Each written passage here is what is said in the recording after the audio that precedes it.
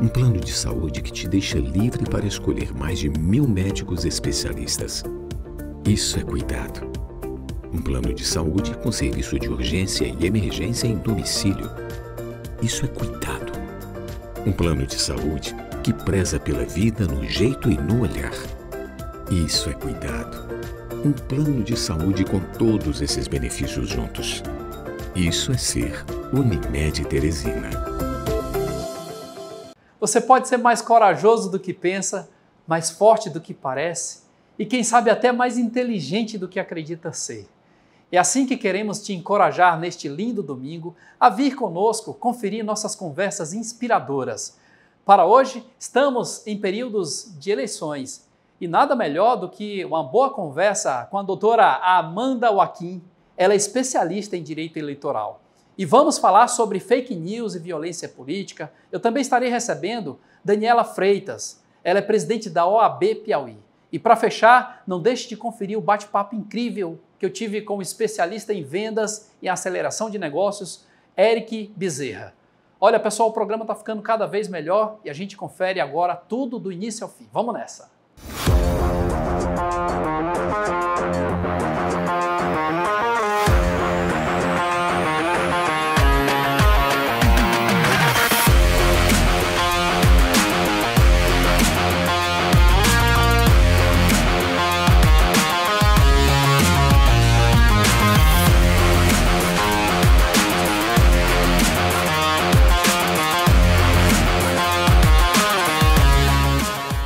oferecimento Unimed Teresina e RR Contas.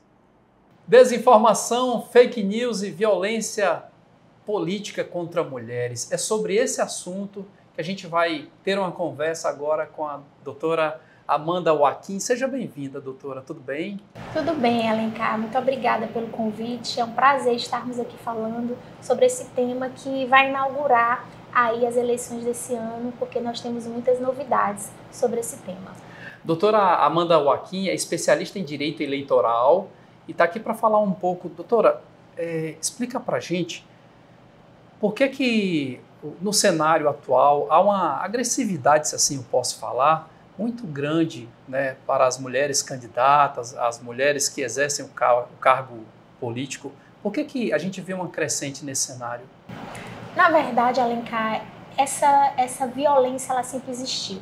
A gente, quando pensa na construção das bases da nossa sociedade, nós sabemos que ela é fundada numa cultura patriarcal e que por isso a mulher, por ser vulnerável em todo esse contexto social, vai ser muitas vezes aquela mais agredida. Então, principalmente quando nós falamos de mulheres, mulheres negras, que aí advém uma outra faceta de violência simbólica. Então, na verdade, hoje o que a gente tem talvez a gente não possa afirmar um aumento, mas talvez um, uma exibição muito maior e revelação por parte dessas mulheres, denúncias. Então a gente entende que a violência ela sempre existiu. E hoje a gente consegue falar mais abertamente dela, porque as normas estão aí, estão sendo fruto cada vez mais de divulgação. E é nosso papel enquanto advogado, enquanto operador do direito, dizer para as mulheres que elas possuem esses direitos e que esses direitos precisam ser assegurados e assim também encorajá-las a falar mais sobre isso.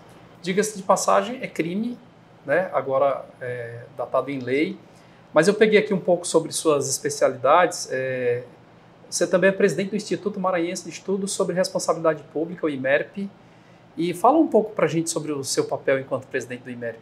É, o IMERP ele foi pensado por advogados, na época jovens advogados, desde 2017, então dentro de uma preocupação que nós temos, especialmente em relação aos estados do Nordeste. Eu sou maranhense, então a gente começou a observar que cada vez mais a administração pública precisava de informação, precisava de conhecimento para que a gente pudesse impactar socialmente com uma construção melhor de políticas públicas. Para se ter ideia, o Maranhão ele já foi, esteve entre os estados que mais perderam recursos públicos porque muitas administrações municipais sequer sabiam como pedir esses recursos, por exemplo, federais. Então é uma forma que a gente tem de levar também informação, levar conhecimento e trabalhar as esferas de responsabilização dos gestores públicos, mas dentro também do devido processo legal, que é uma garantia constitucional. Então a nossa ideia também é levar informação, contribuir e principalmente contribuir com a construção de políticas públicas para os pequenos municípios que muitas vezes não dispõem de um corpo técnico tão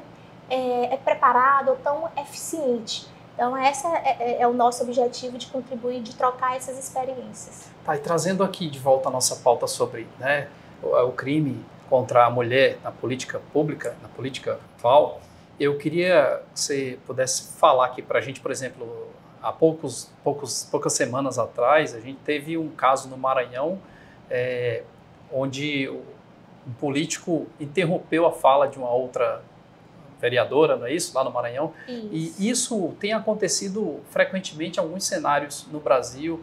E o que está sendo feito para que ou se previna, ou se mude esse ponto de vista, ou se atualize? Que está sendo feito? Doutora? Perfeito, Alencar. E é justamente esse o nosso tema.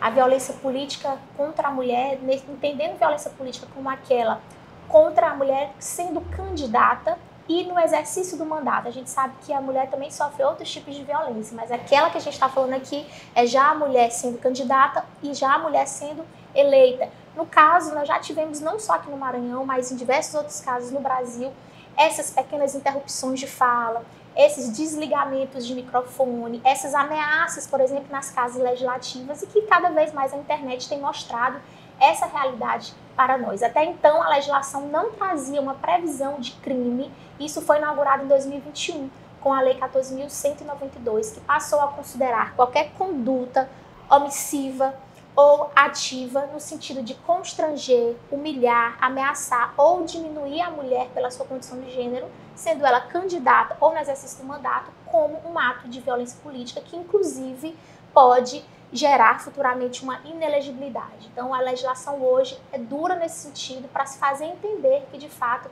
a mulher precisa de liberdade, precisa de autonomia no exercício do seu mandato e no exercício de suas funções públicas, seja elas quais forem. Então, pela primeira vez, nós vamos ter esse crime previsto na legislação e isso tem sido pauta do Tribunal Superior Eleitoral, pauta dos tribunais regionais eleitorais, que tem feito, que, que tem feito diversas campanhas de conscientização para que cada vez mais a gente não só estimule a, a mulher a participar da política, mas a mulher também a exercer livremente quando já eleita o seu mandato. É, eu queria pegar esse gancho e perguntar a você diretamente, enquanto mulher, defensora né, desse ponto de vista, dessa causa, se de repente isso desestimula as mulheres, vendo que a gente tem muito mais homens na política do que mulheres. Você acredita que esse é um dos fatores, realmente? Com certeza. A gente chama isso de uma violência simbólica. Se nós pararmos para pensar, nós temos por volta de 52% do eleitorado brasileiro é composto por mulheres, mas nós temos uma subrepresentatividade. Nós temos, por exemplo, um Congresso Nacional hoje com somente aí um percentual de 16%. Então, o que, que acontece? A gente é o número maior de eleitores e isso não está é, escancarado de fato nas vagas das mulheres eleitas. Então, com certeza, a violência política ela é um desestímulo, porque aquela mulher ela precisa não só primeiro, se encorajar para se candidatar, e aí a gente tem diversos obstáculos, a gente tem a divisão das tarefas domésticas em casa, a gente tem que o tempo é um ativo precioso para aquela mulher que quer entrar na política. A gente precisa encorajar ela a entrar, encorajar de fato ela a ser candidata e enfrentar uma campanha eleitoral, porque a gente está falando de visibilidade dos partidos, de espaço dos partidos políticos e de recursos e de aplicar os percentuais que a legislação vê, de no mínimo 30% do fundo partidário, do fundo especial de campanha. E essa mulher tem uma terceira etapa, que é quando ela é eleita, ela precisa, como eu disse, exercer com liberdade e autonomia. Então, todas essas barreiras, a mulher faz esse juízo de valor, ela faz essa reflexão quando ela pensa em entrar na política. Quando ela vê que de fato a gente tem essas cada vez mais essas denúncias, isso funciona assim como um desestímulo para a mulher e é para isso que a gente precisa se unir enquanto sociedade, enquanto instituições, para dizer que essa mulher ela não está só. As dificuldades elas vão existir porque nós viemos dessas bases patriarcais, como eu falei, mas que quando ela encontra apoio em instituições que possam fortalecê-la nessa caminhada, ela consegue de fato exercer aquela missão. E diga-se passagem, as pesquisas mostram que quando há gestões lideradas por mulheres, que é uma diminuição da corrupção, que é melhor construção de políticas públicas, maiores desenvolvimentos na educação e na saúde, por exemplo. Doutora, muito obrigado por sua vinda. Eu quero encerrar nossa conversa deixando o seguinte recado: aproveitar você que vai fazer o seu voto consciente e observar quais são os partidos políticos que cumprem a cota de ter 30% de mulheres, e quais são aqueles partidos que têm a responsabilidade de ter realmente mulheres e programas voltados para as mulheres dentro do partido como solução para conquistar o nosso voto. Não é isso? É isso sim. É muito importante que a gente faça esse juízo, a gente tenha essa consciência cívica que para a gente mudar essa subrepresentatividade, a gente precisa acreditar nessas candidaturas e de fato depositar o nosso voto e construir uma sociedade melhor. É isso aí. Então, pessoal, muito obrigado, tá, doutora? Gente, vamos para um rápido intervalo comercial, a gente já volta.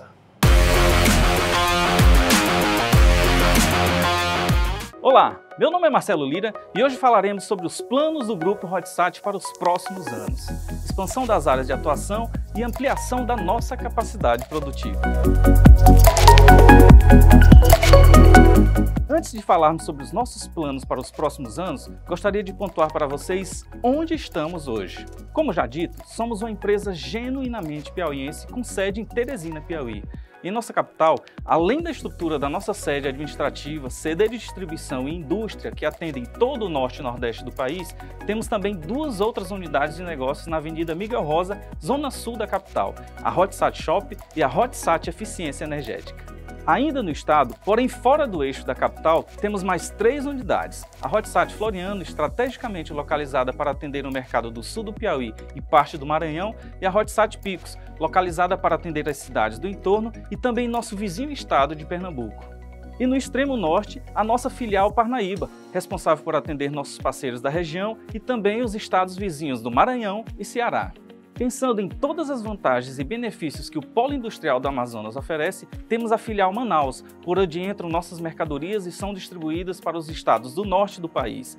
Ainda no Amazonas, por questões estratégicas, temos nossa filial de Itacoatiara. Nosso objetivo é manter um relacionamento cada vez mais próximo com o mercado e parceiros, e foi esse espírito desbravador que nos motivou a abrir a nossa recém-inaugurada filial, a Hotsat Goiânia. Essa será responsável por abastecer os mercados do centro-oeste do país e, em um futuro bem próximo, também as outras regiões, o sul e sudeste. Como podem observar, não há fronteiras e nem desafios que nos impeçam de buscar o nosso sonho grande. Temos metas ousadas e, preservando sempre o nosso DNA empreendedor e nossa essência, estamos trabalhando para que o Grupo Hotsat mude seu status de empresa regional para nacional, atendendo todo o Brasil de norte a sul. Assim é o Grupo Hotsat, uma empresa feita por pessoas que apostam no sucesso de grandes parcerias. E como dizem nossos diretores, nada seria possível se não fossem as pessoas que aqui estão e as que por aqui passaram. E em nome do grupo, agradecemos a todas elas, principalmente aos nossos parceiros clientes, estes que são a base do nosso crescimento. Se quiser conhecer mais sobre o nosso grupo, segmentos, produtos e áreas de atuação, acesse hotsat.com.br ou siga o nosso perfil no Instagram, arroba Grupo Hotsat. Até a próxima e muito obrigado!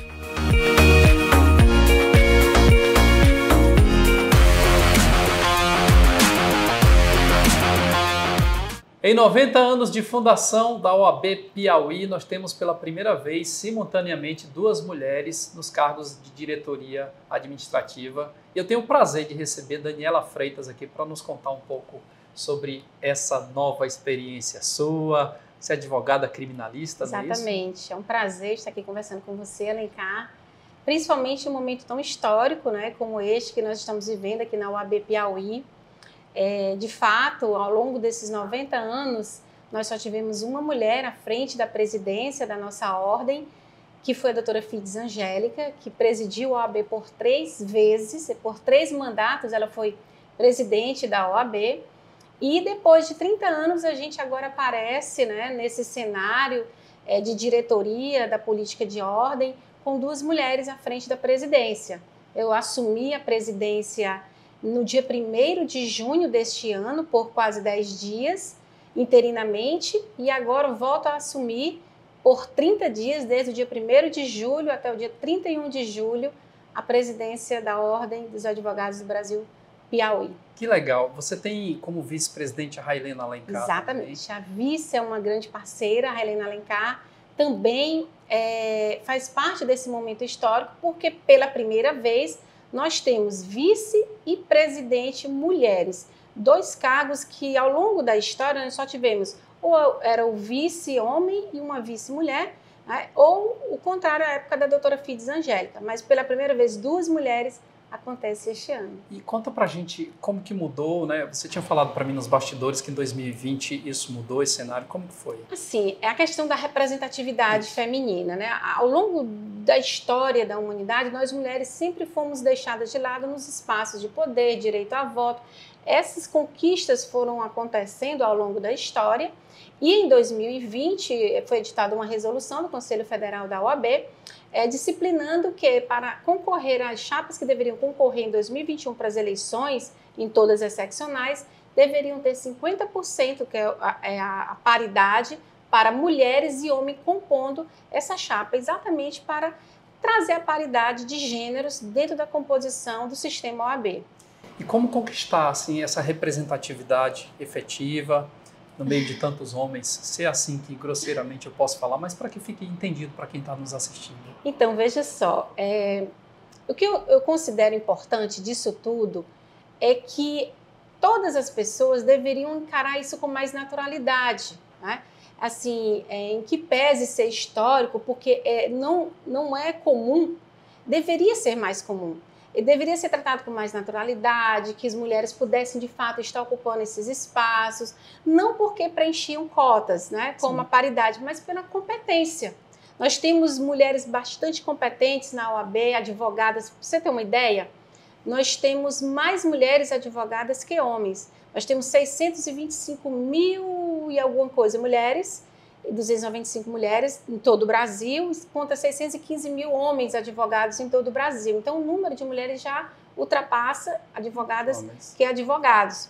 No entanto, ainda há muito patriarcado, ainda há muita questão do poderio econômico que atrapalha algumas mulheres de disputar cargos é, letivos na OAB, cargos de poder, como a gente chama no cenário geral. Mas isso vem mudando, mas ainda existe. Então, é uma conquista que nós estamos conseguindo e que, com certeza, é um passo para que outras venham e sim. continuem. E aí sim, a gente pode, daqui a algum tempo, tratar isso de forma natural, como nós gostaríamos que fosse. Eu tinha falado para você no, aqui nos bastidores, Daniela, que acho que 2013, 14 mais hum. ou menos, nós tínhamos uma presidente mulher do país, nós tínhamos uma presidente da Petrobras mulher, nós tínhamos uma presidente do Banco Mundial mulher, né? E hoje a gente tem poucas mulheres, assim, olha aqui, 2013 para cá, já passaram mais de 10 anos, mas com tamanha representatividade. E esse legado que você vem construindo aqui no Piauí nos orgulha muito. A gente fica muito feliz Obrigada. de te receber, poder compartilhar com o nosso público um pouco da tua história, porque não é apenas uma mulher, é uma mulher negra e, né, e que vem desbravando e, e com muita competência. Eu pegando aqui um pouco do seu currículo para me aprender um pouco sobre você, professora, advogada criminalista, especialista em direito processual, enfim, tem toda uma preparação para você estar tá onde você está hoje. É, assim, eu tenho buscado me qualificar, me colocar no mercado. Eu sou professora há muitos anos, trabalho exclusivamente com advocacia criminal. Eu tenho um nicho votado para o Tribunal do Júri, gosto desses debates, enfim, é a minha área de atuação, né? E também é um ineditismo dentro da diretoria de ordem, por quê? Porque o presidente, e ocupando cargo de diretoria, presidente criminalista, eu sou a primeira né, aqui no nosso Piauí.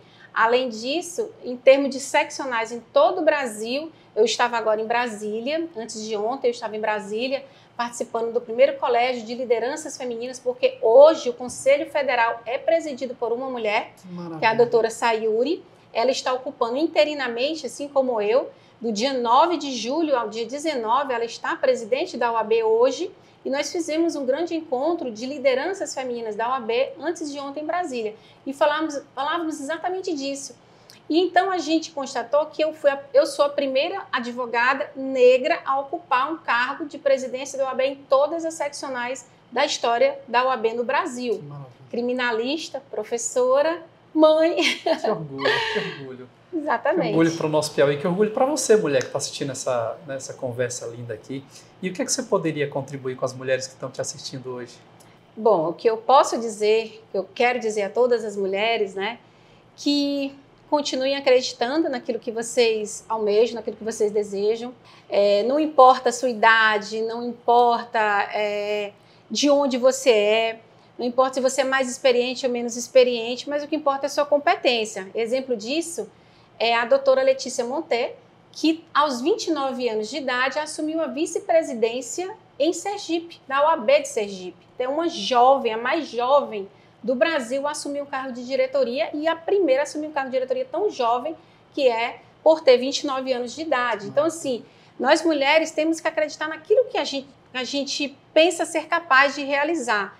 E o que eu quero dizer a todas as mulheres ainda é que, independente de sermos a primeira mulher negra, a primeira mulher criminalista, é, a primeira pessoa com deficiente a ocupar a presidência de OAB, é, nós somos competentes.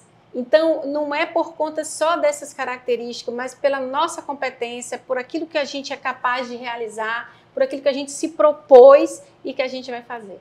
E o que eu posso dizer para você aqui é gratidão imensa por tua presença. Obrigada. Desejar toda boa sorte, se é que a gente pode apenas desejar isso. Pelo contrário, a gente fica na torcida que a gente está contando aqui uma história linda e que com certeza é um legado para a gente ouvir falar muito para frente adiante. Eu que agradeço por ter nos dado essa oportunidade de falar de toda essa representatividade feminina, de toda essa construção, de todas essas conquistas e de estar podendo falar para outras mulheres para que elas sigam seus caminhos, que com certeza elas irão atingir seus objetivos, basta querer. Obrigado, doutora. Obrigada a você. Olha, gente, a gente vai para um rápido intervalo comercial e já volta.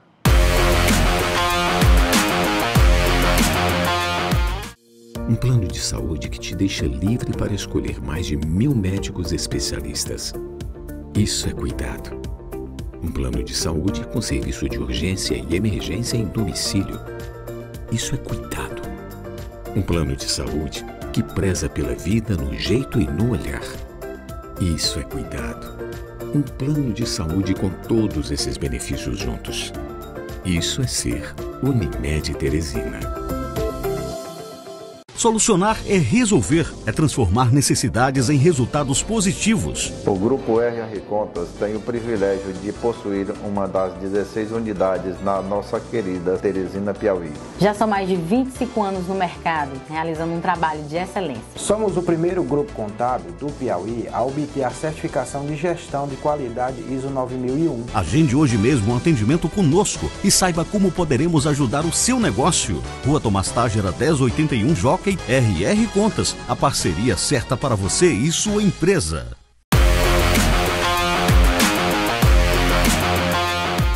Tenho o prazer de receber Eric Bezerra, meu amigo aqui de rede social e agora pessoalmente. Tudo bem, Eric? Tudo ótimo. Seja bem-vindo, cara. Obrigado, agradeço o convite. Satisfação. A gente, Eric, eu te convidei aqui para a gente falar um pouco sobre vendas, sobre o que você fala nas suas palestras e treinamentos. Me fala um pouco se, se, a cabeça do vendedor hoje precisa ser melhor trabalhada nos seus treinamentos. Como que você está fazendo isso hoje com o seu trabalho? Perfeito. É, venda é algo que eu venho vivenciando há mais de 15 anos, né? E a minha experiência, meu know-how está dentro de franquia, então eu fui bem moldado.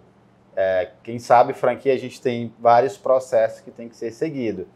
E hoje, processo de venda ele está cada vez mais inovador e as empresas têm que cada vez mais buscar é, atender a experiência do cliente.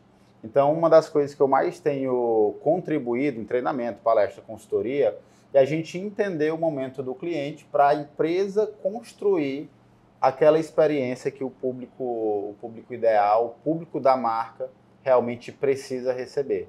Deixa eu te perguntar uma coisa, Eric. Você acredita que as empresas elas dão atenção real que o consumidor precisa? Você acredita que as empresas estão preocupadas com o comportamento do consumidor hoje? Como é a sua opinião sobre isso?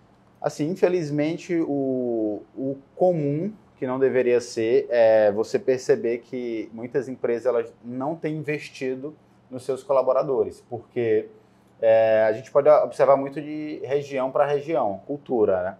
Então, eu já ministrei em alguns estados, a gente percebe. Eu vou para um estado, a gente percebe que tem uma cultura de atendimento vou para outro estado, já mudou completamente. Mas o que a gente observa ainda é que tem um gap muito grande que as empresas precisam se atentar para isso, que venda ela é o reflexo do atendimento, que é o reflexo da cultura, que tem a ver com liderança. Então, é, é uma coisa unida à outra.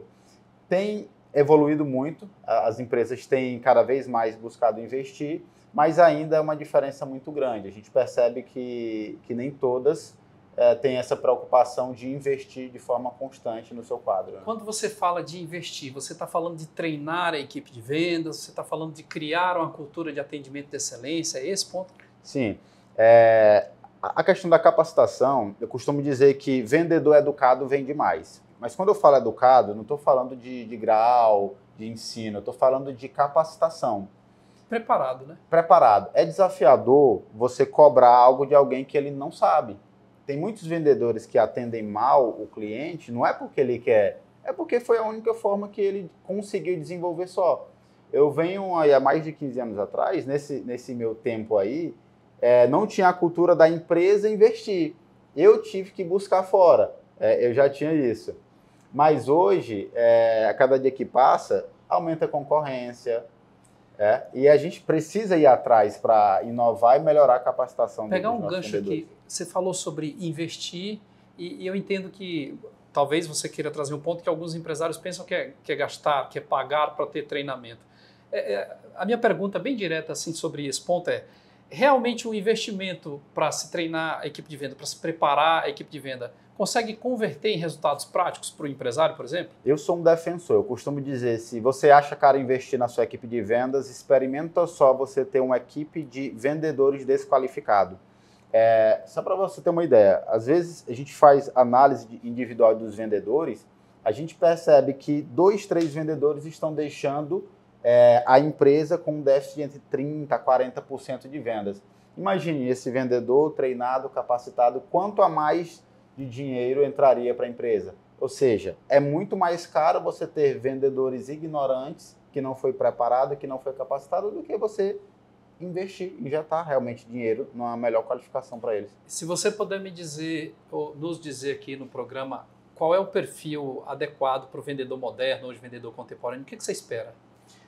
Eu costumo dizer que vendedor é, você não nasce sendo vendedor, mas tem algumas características que pode colocar na frente, que é justamente comunicação, atitude, proatividade.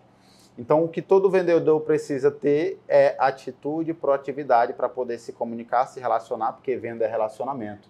Então, toda empresa deveria investir na comunicação dos seus colaboradores, dos seus vendedores, para que essa comunicação ela reflita numa melhor comunicação entendimento, e isso acaba sendo convertido em vendas, que é o que toda empresa precisa. Tá, e essa comunicação leva a ação que traz resultados, consequentemente, né, traz, traz vendas, mais vendas. E eu pergunto a você, dá muito trabalho para preparar? Eu costumo dizer que dá mais trabalho preparar a mente do dono, porque é de, eu, eu gosto de falar, é de cima para baixo. Se o dono falar assim, essa equipe não presta, eu já sei que nada que implantar ali vai fluir, porque ele já está rotulado. Agora, se ele falar, eu acredito, vamos investir neles, eu vejo o potencial, eles só não sabem como fazer. Aí eu falei, eu também acredito. Aí a gente faz acontecer. Então o maior desafio não é trabalhar lá a base, é a cabeça do dono. Ele comprando a ideia, ele vai investir e ele vai estar envolvido no projeto. E começa a mudança de cima para baixo. Então vamos deixar um recado para as pessoas que estão nos assistindo aqui no domingo, para os donos de empresa, então, por que, que devem treinar seus times de vendas? time de venda treinado melhora o clima da empresa, melhora relacionamento, aumenta a habilidade dos, dos, seus vendedores, você consegue se conectar mais, vendedor, cliente, você consegue ter mais resultado. É muito melhor você investir para aumentar seus resultados do que você deixar de colocar aquele dinheirinho a mais lá para você ter a sua equipe bem preparada. É isso aí, preparação é tudo, né, cara? Preparação Sim. é para estar ali na frente de guerra. Muito obrigado por sua participação, viu, Eric? Volte mais vezes. Obrigado, sempre que precisar, estou à disposição. Isso aí. Pessoal, a gente vai ficando por aqui e eu peço que continue acompanhando o nosso conteúdo no canal do YouTube Conversa Coach tudo junto e também no nosso Instagram arroba Conversa Coach. Até o próximo domingo.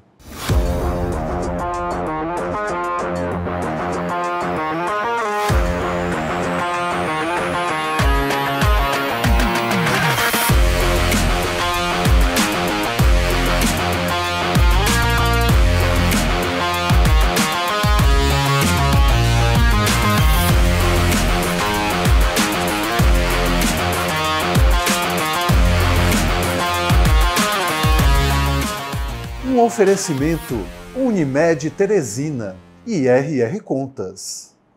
Nossa edição deste domingo terminou e eu volto aqui para trazer um recado super especial. Você conhece o nosso canal oficial do YouTube?